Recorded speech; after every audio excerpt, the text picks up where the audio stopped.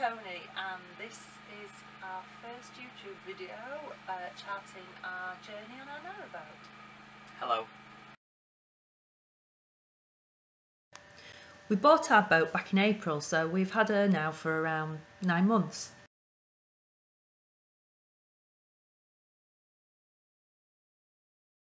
Our journey began back in 2012 when we decided to take a holiday on the Lancaster Canal to be honest, as soon as we stepped on board the narrowboat, we were smitten.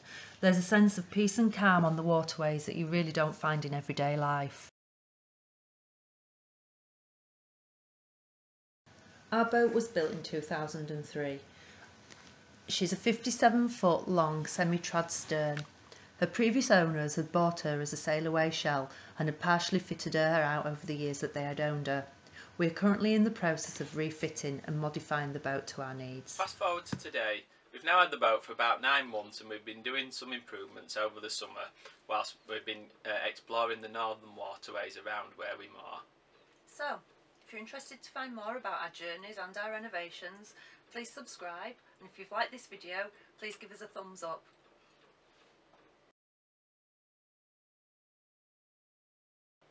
Hi, I'm Tori.